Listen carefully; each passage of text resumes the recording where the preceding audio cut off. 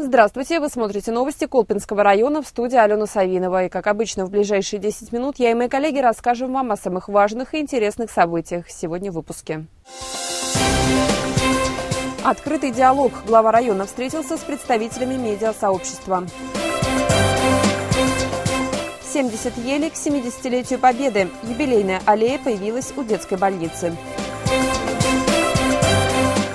«Мирное небо». Впервые в Колпино прошел фестиваль авиамодельного спорта.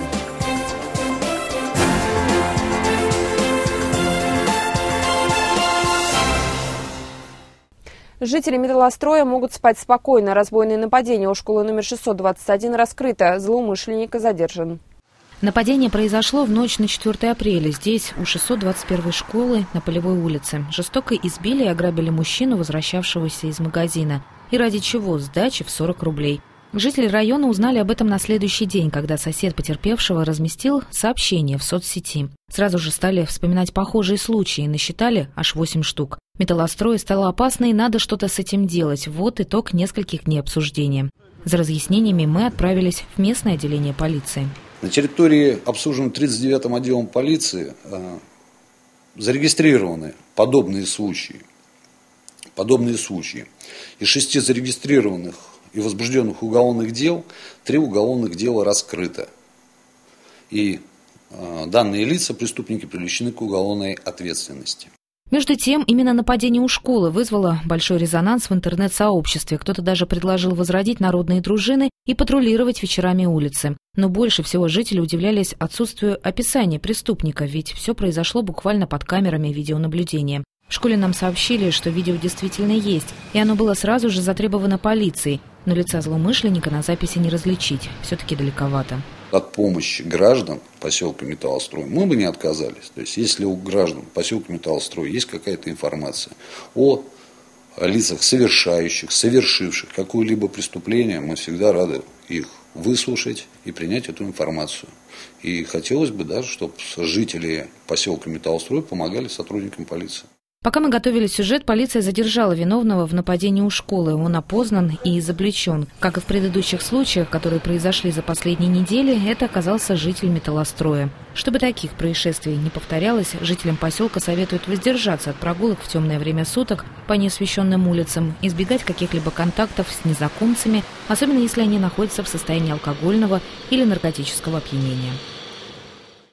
Безопасность на дороге в поселке Металлострой летом заработает новый светофор. Работы на пересечении Петрозаводского шоссе и Плановой улицы уже ведутся. Аварии на этом участке дорог нередкие, страдали и пешеходы. Жители поселка неоднократно обращались в администрацию района с просьбой установить на этом месте светофор.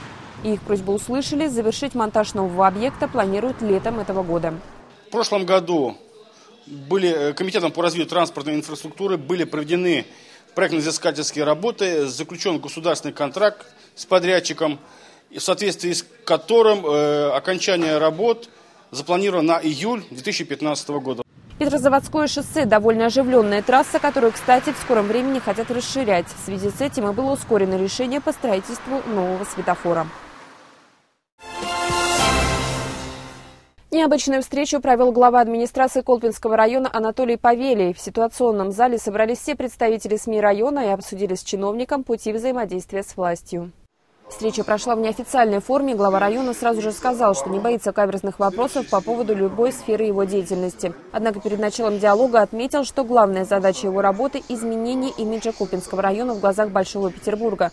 В этом, надеется Анатолий Павелий, ему придут на помощь местные СМИ. Район незаслуженно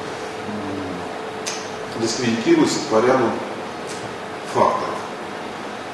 Есть э, такое представление Большого Санкт-Петербурга, что Колпинский район это прежде всего какая-то техническая промзона, в которой очень все плохо с э, жилищно-коммунальным хозяйством, в частности с э, коммуникациями, с трубами и так далее. Чтобы упростить взаимодействие чиновников и представителей СМИ, было решено создать единую информационную рассылку о событиях и мероприятиях, проходящих в районе, а также проводить встречи, подобные этой регулярно. У журналиста будет возможность задать любые вопросы и внести предложения напрямую главе администрации. Ведь первое собрание стало, можно сказать, только знакомством, но это верит в администрации начало долгой и плодотворной совместной работы. Петербурге почтить память солдат, проявивших мужество и отвагу при обороне Ленинграда, решили с помощью хвойных аллей. Деревья посадят во всех районах города. В Колпино местом для юбилейной аллеи выбрали территорию у детской городской больницы. По дереву за каждый год, прошедший после победы. Всего 70 елей.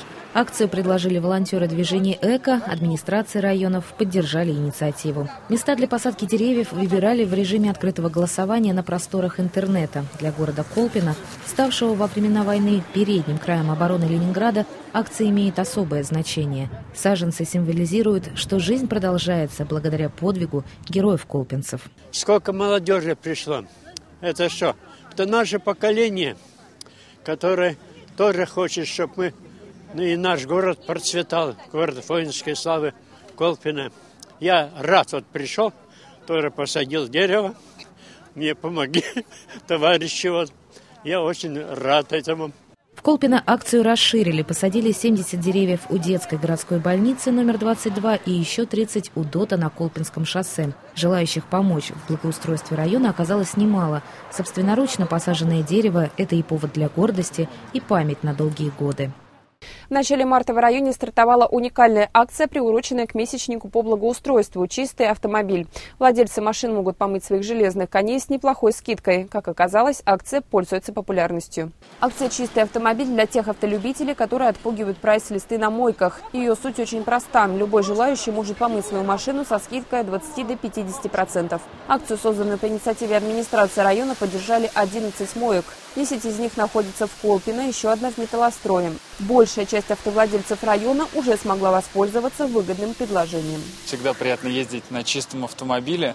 Вот, поэтому считаю, что акция пришлась к месту. Правда, погода у нас все-таки там то, то дождь, то солнце, поэтому не, не очень удачно с погодой, а так все хорошо. Я вообще очень люблю э, в различных акциях участвовать. Это очень удобно и очень выгодно.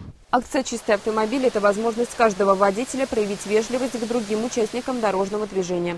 Кстати, намыть свое авто до блеска можно в течение недели. Предложение актуально до конца апреля. Мертвые петли, бочки и другие фигуры высшего пилотажа. В Колпино прошел первый фестиваль авиамодельного спорта «Мирное небо».